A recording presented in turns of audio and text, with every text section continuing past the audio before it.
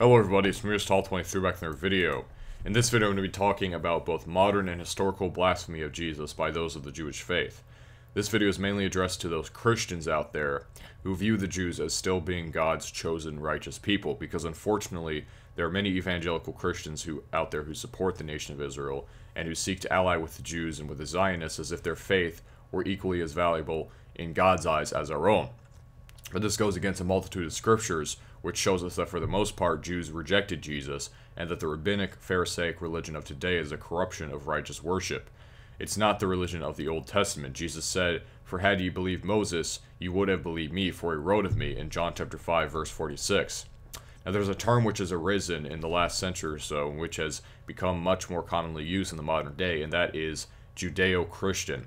Not only is this term contradictory, but it originated from a reprobate atheist philosopher uh, and blasphemer named Frederick Nietzsche. Now, there's no such thing as Judeo uh, Judeo Christianity. Christianity is a continuation of the faith of the Old Testament in the God of the Bible, but Judaism is just a splinter which follows after the lies of the rabbis. It's not the religion of the Old Testament. First, before we see what the Jews have said about Jesus after the apostolic age, let's see what the Bible says about them. It says in Matthew chapter 12, verse 31 to 32, Wherefore I say unto you, all manner of sin and blasphemy shall be forgiven unto men, but the blasphemy against the Holy Ghost shall not be forgiven unto men. And whosoever speaketh a word against the Son of Man, it shall be forgiven him, but whosoever speaketh against the Holy Ghost, it shall not be forgiven him, neither in this world, neither in the world to come. Now, this is in the context of the statement by the Pharisees in verse 24 when it says, but when the Pharisees heard it, they said, This fellow doth not cast out devils, but by Beelzebub, the prince of the devils. So Jesus says that Jews can have their blasphemy forgiven if they speak against Christ, but that's different if they speak against the Holy Ghost, which we shall see in this video that they've done as well. However, even with forgiveness uh, for the blasphemy of Christ, they still need to repent and have faith in Christ in order to receive that forgiveness. This is how they receive forgiveness of sins. They are not our brothers and sisters. They are not uh, fellow partakers in the promise of God until they have accepted Jesus Christ as their personal Savior. As the Bible says in Acts chapter 10, verse 43, To him give all the prophets witness that through his name whosoever believeth in him should receive remission of sins. Because the Jews don't believe in him, they won't have their sins forgiven. Just because they can have their sins forgiven for blaspheming Christ doesn't mean it will be forgiven. Now we see another example of this harsh rebuking of Jews by Jesus when he said in Matthew chapter 23, verse 13 and 35, and this is a long passage, by the way, so let me just, I'm going to read it all. It says, But woe unto you, scribes and Pharisees, hypocrites, for you shut up the kingdom of heaven against men. For you neither go in yourselves, neither suffer ye them that are entering to go in. Woe unto you, scribes and Pharisees, hypocrites, for ye devour widows' houses, and for a pretense make long prayer. Therefore ye shall receive the greater damnation. Woe unto you, scribes and Pharisees, hypocrites, for ye compass sea and land to make one proselyte, and when he is made, ye make him twofold more the child of hell than yourselves. Woe unto you, ye blind guides, which say, Whosoever shall swear by the temple, it is nothing. But whosoever shall swear by the gold of the temple, he is a debtor. Ye fools and blind, for whether is greater, the gold or the temple that sanctifieth the gold? And whosoever shall swear by the altar, it is nothing. But whosoever sweareth by the gift that is upon it, he is guilty. Ye fools and blind, for whether is greater, the gift or the altar that sanctifieth the gift? Whoso, whoso therefore shall swear by the altar and sweareth by it, and by all things thereon. And whoso shall swear by the temple sweareth by it, and by him that dwelleth therein. And he that shall swear by heaven sweareth by the throne of God, and by him that sitteth thereon. Woe unto you, scribes and Pharisees, hypocrites, for you pay tithe of mint, and anise, and cumin, and have omitted the weightier matters of the law, judgment, mercy, and faith. These ought ye, ought ye have to done, and not to leave the other undone. Ye blind guides which strain in a gnat and swallow a camel. Woe unto you, scribes and Pharisees, hypocrites, for you make clean the outside of the cup and of the platter, but within they are full of ex extortion and excess. Thou blind Pharisee, cleanse first that which is within the cup and the platter, and the outside of them may be clean also. Woe unto you, scribes and Pharisees, hypocrites, for ye are like unto whited sepulchres, which indeed appear beautiful outward, but are within full of dead men's bones, and of uncleanness. Even so you also outwardly appear righteous unto men, but within you are full of hypocrisy and iniquity. Woe unto you, scribes and Pharisees, hypocrites, because ye build the tombs of the prophets and garnish the sepulchres of the righteous, and say, If we had been in the days of our fathers, we would have not have been partakers with them in the blood of the prophets. Wherefore ye be witnesses unto yourselves, that ye are the children of them which killed the prophets. Fill ye up then the measure of your fathers, ye serpents, ye generation of vipers. How can ye escape the damnation of hell? Wherefore, behold, I send you unto your prophets, I send unto you prophets and wise men and scribes, and some of them shall ye kill and crucify, and some of them shall ye scourge in your synagogues and persecute them from city to city. Then upon you may come all the righteous blood shed upon the earth, from the blood of righteous Abel unto the blood of Zacharias, son of Barachias, whom ye slew between the temple and the altar. Now, Jesus constantly criticized the religious leaders of his day. It's not just this chapter, uh, this passage right here, but it's all throughout the New Testament. He said, Woe unto them. He called them vipers. He called them blind guides. He called them hypocrites and fools, etc. Now, if this was the case, then we should understand the wickedness of Judaism. This is not something that should be surprising to Christians out there if they actually read the Bible. The rabbis, the leaders of their religion who have written the Talmud, and which teach in the synagogues, they are liars and false prophets. Jesus also said about them in John chapter 8, verse 39 to 44. They answered and said unto him, Abraham is our father. Jesus saith unto them, If you were Abraham's children, you would do the works of Abraham, but now you seek to kill me, a man that hath told you the truth, which I heard of God. This did not Abraham. You do the deeds of your father. Then said they to him, We be not born of fornication, we have one Father, even God. Jesus said unto them, If God were your Father, you would love me, for I proceeded forth and came from God. Neither came I of myself, but he sent me. Why do you not understand my speech, even because you cannot hear my word? Ye are of your father the devil, and of the and the lusts of your father ye will do. He was a murderer from the beginning, and abode not in the truth, because there is no truth in him. When he speaketh a lie, he speaketh of his own, for he is a liar, and the father of it.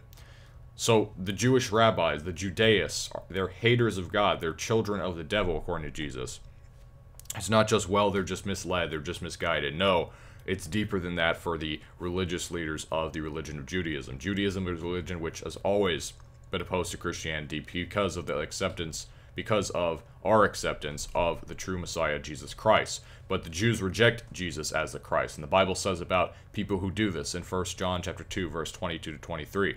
Who is a liar but he that denieth that Jesus is the Christ? He is Antichrist, that denieth the Father and the Son. Whosoever denieth the Son, the same hath not the Father. He that acknowledgeth the Son hath the Father also. So they don't even have the Father. To say that Jews are God's people and that they have the blessing of God is false. Okay, they don't even have the Father. They don't even have God whatsoever. Those who have heard the gospel, especially those who know the Tanakh and who've read it, and yet continue to reject Christ, are of the devil. They are antichrist, meaning that they are not neutral. They're not just ignorant. They are opposed to him. Jesus said, he that is not with me is against me. So the Christians out there, the evangelical Christians who support Judaism, need to stop acting like the Jews are our allies. There's no such thing as Judeo Christianity. They've always been opposed to our religion, and it's not just in the first century, it's beyond that as well. And to further show this, I'm going to give a few examples of how one of the main Jewish texts, the Talmud, which is comprised mostly of the Mishnah, which is the uh, rabbinic commentary on the Oral Torah, blasphemes Christ. The Mishnah was written about the 3rd century CE, and the oldest manuscript in existence, full manuscript in existence, dates from about 1300s, uh, the 1300s. So Jesus is mentioned multiple times in the Talmud, and each time the same lies and blasphemous statements about Jesus are made uh, that are found in the New Testament. For example, in Sanhedrin 43a, it says, On Passover Eve, they hung the corpse of Jesus the Nazarene after they killed him by way of stoning. And a crier went out before him for forty days, publicly proclaiming, Jesus the Nazarene is going to be stoned because he practiced sorcery, incited people to idol worship, and led the Jewish people astray. Anyone who knows of a reason to acquit him should come forward and teach it on his behalf. And the court did not find a reason to acquit him, and so they stoned him and hung his corpse on Passover Eve. So, according to the Jewish rabbis, Jesus was a sorcerer. This was exactly what the Pharisees claimed in the Gospels, and Jesus said that they blasphemed the Holy Ghost.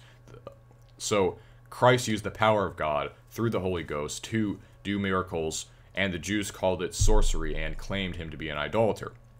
Let's see what the Talmud also says in uh, Gittin 40, 57a, verse 3 to 4. It says, Onkelos then went and raised Jesus the Nazarene from the grave through necromancy, which, by the way, is denying his resurrection. Onkelos said to him, Who is most important in the world where you are now? Jesus said to him, The Jewish people. Onkelos asked him, Should I then attach myself to them in this world? Jesus said to them, Their, their welfare you shall seek, their misfortune you shall not seek, for anyone who touches them is regarded as if he were touching the apple of his eye. Onkelos said to him, What is the punishment of that man? A euphemism for Jesus himself in the next world. Jesus said to him, He is punished with boiling excrement. As the Master said, anyone who mocks the words of the sages will be sentenced to boiling excrement.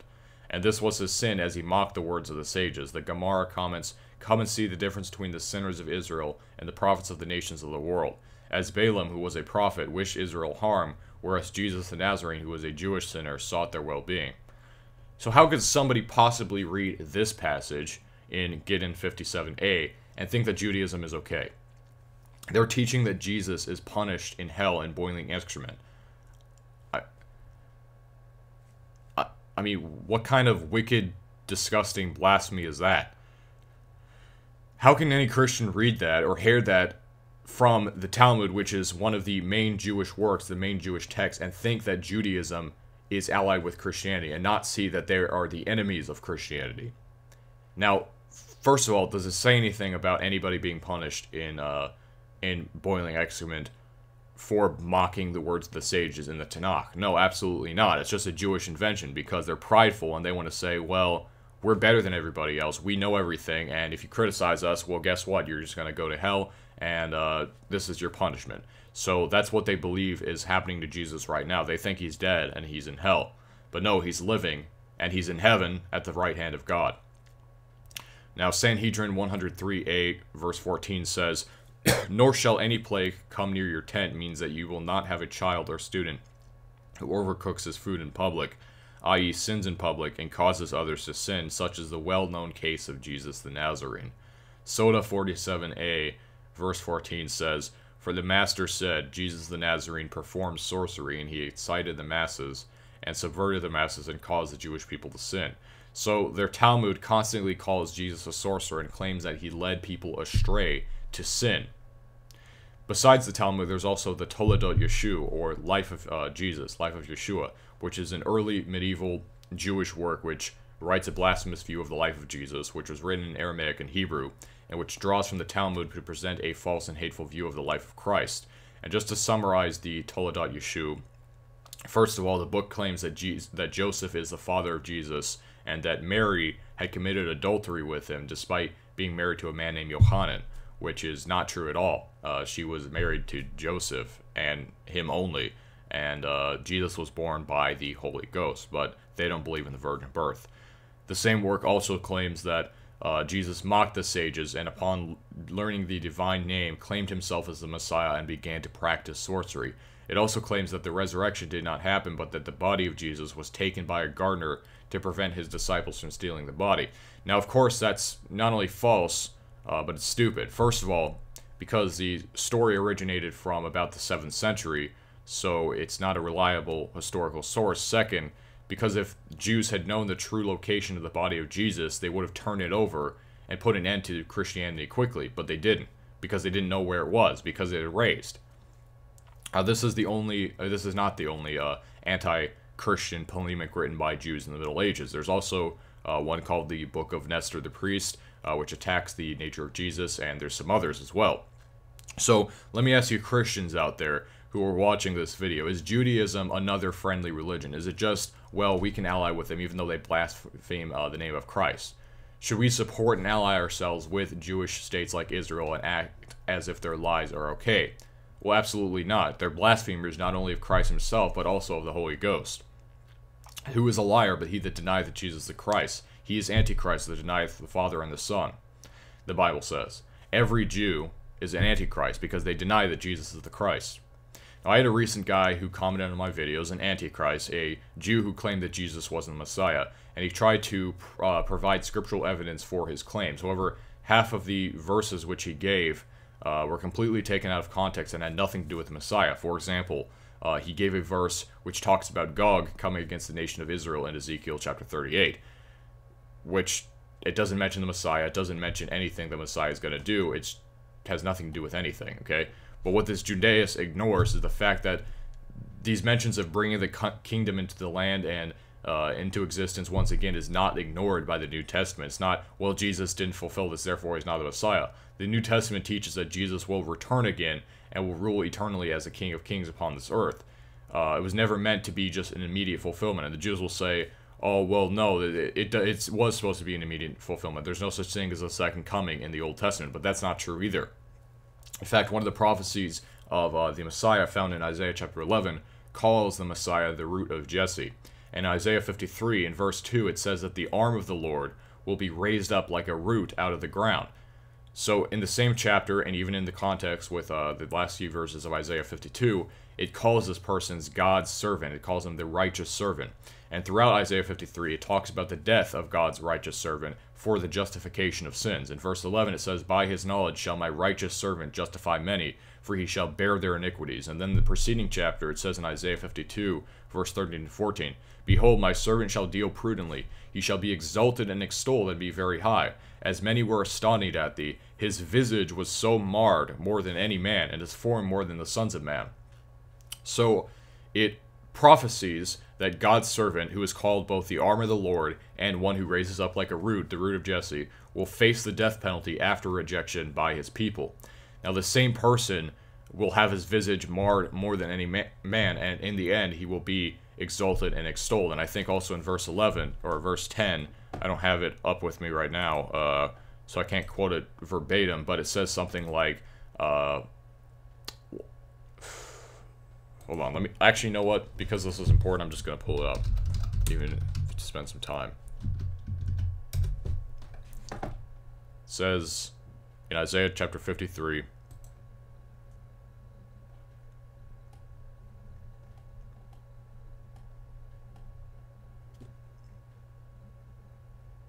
Yet it pleased the in verse 10, yet it pleased the Lord to bruise, to bruise him. He hath put him to grief when thou shalt make his soul an offering for sin, which means he, he died for an offering, for a sin offering. He shall see his seed, he shall prolong his days, and the pleasure of the Lord shall prosper in his hand. So even though this guy dies, even though it says uh, in verse 8 that he's cut off out of the land of the living, and in verse 9 that uh, he that he had his grave with the wicked and the rich in his death, so he died, this person, this righteous servant of God, died. But it says that the Lord will prolong his days in verse 10, which is talking about the resurrection. So uh, that's exactly what happened with Jesus. He was crucified, but he rose again and he lives as the King of Kings. He was exalted, even though he had his visage marred uh, more than any man. Now, there's also prophecies in Psalm chapter 22 about one being pierced, and in detail uh, with verse uh, 15 and verse 15 14 and 15, it describes what would be the hypovolemic shock of when Jesus went into on the cross, about uh, his heart melting and uh, his tongue sticking to the roof of his mouth and uh, things like that. In Zechariah chapter 12, verse 10, also, God identifies himself as the one being pierced. So compare this verse, Zechariah 12:10, with Psalm 22, 16, and 17. You'll see what I'm talking about. And then there's actual verses which use the word Messiah such as in Psalm 2, where it specifically calls God's anointed the Son of God, and it says, Blessed are they who put their trust in him. There's also Daniel chapter 9, verse 24 to 27, which prophesies that there will be seven weeks and 62 weeks until Messiah the Prince from the time when a decree is made to build up Jerusalem. Now, it just so happens that exactly 69 sets of seven years, or 483 years after the decree of Artaxerxes in 456 BCE, that's when Jesus began his ministry in 27 CE. Now, I could go on and on about the Old Testament prophecies that were fulfilled by Jesus, which clearly reveal him to be a Messiah. But the Jews want to ignore that because he didn't, uh, because he didn't raise up Israel, because he didn't bring all the tribes into the land, because they think that that's just something he's just going to do immediately. But the Jews won't tell you any of this. The Jews won't tell you about any of these prophecies because to them, the Bible doesn't mean what it says. It means what they want it to mean. It means what they say it says.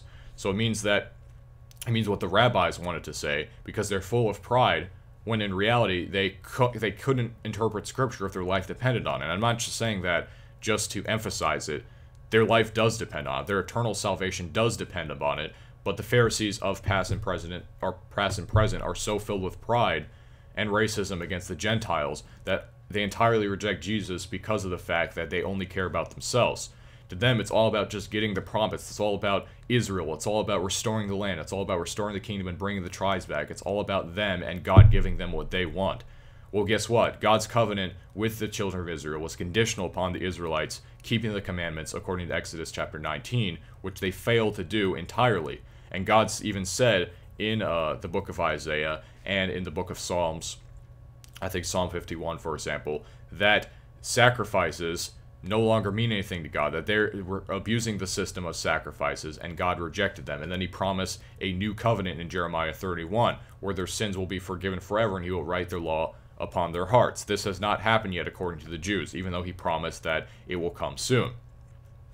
And this continued pride and arrogancy and hatred of the truth of Christianity has continued into the modern day. For example, the Israeli politician and member of Knesset, uh, Michael Ben Ari, videotaped himself tearing up a copy of the New Testament and throwing it in the trash, which he said it's it's a despic and he called it a despicable book, because many of them hate, hate Christ, many of them hate what uh, the Word of God, hate what the Bible says. It's a religion of opposition to the true God. Uh, it's a religion of opposition to uh, what the Bible actually says. But that's not saying that they're irredeemable, that they can't be saved. Okay, that's why we have missionaries, and that's why we have those who preach the word of God. It's God's command to go out and preach the gospel. So rather than ally with the Jews and act like they're their friends and act like their religion is just on the same level as ours and use terms like Judeo Christianity, we as Christians should preach the gospel to them to get them saved, to show the truth of the claims that Jesus is the Messiah, instead of just uh, being friends with them and acting like they're okay. Now, that's not to say that there are some Jews out there who are reprobates and who absolutely hate God in their hearts and will do anything to uh, to harden their to continue to harden their hearts because they just don't want to believe. There are some like that, such as the rabbis of Jesus' day who blasphemed uh, the Holy Ghost. But the general people in the religion of Judaism, many of them are just misled. Now, this video is mostly an attack against the the rabbis, the leaders, the uh, the Jewish apologists, etc. There are some people who are raised in Judaism who may just because I've heard stories about people being shunned from uh, from the truths of Christianity. For example, in uh, this book right here, The Case for Christ, uh, Lee Strobel interviewed, uh, I think his name was, I don't know his first name, but his last name is Lapides or something like that. And he interviewed him, and Lapides was giving his life story and about how his parents were basically giving him false perceptions of what Christianity is, and he, even in his uh, teenage years, thought that Christianity was some kind of neo-Nazi religion or something like that, and he didn't really understand anything about it because his parents were shunning him. And that happens in Judaism all the time. Some people just don't understand what Christianity is. They don't under, they never see the prophecies in the Old Testament about Jesus. They never see what the New Testament teaches about Jesus. They just think it's, well, we're just going to hate the Jews and that's all Christianity is about. But it's not about hating Jews. It's not about hating at all. We don't hate Jews. We hate Judaism, the religion, because it's against God. We love we love the Jews, and and by the way, when we say Jews, we're talking about uh, well, I'm talking about the religion in particular, not like the ethnic group. I think people put too much emphasis on the ethnic group instead of the religion, because obviously somebody who isn't part of the Jewish religion doesn't uh, matter in this video because I'm talking about the Talmud and the teachings of the Jews against Christ. Of course, people who don't even believe in the Old Testament, which I don't think Jews do anyway, uh, but people who completely reject the New Testament and don't practice Judaism at all, of course they don't they don't really care if Jesus is the Messiah or not because they don't believe in the Messiah. So this video is against the Jewish religion. It's not to personally attack any Jews in particular, but the point to Christians out there is that there are enemies and that they are not our friends. They are against us, they are against Christ, and instead of allying with them, we should preach them the gospel. So, thank you, buddy, for watching, and goodbye.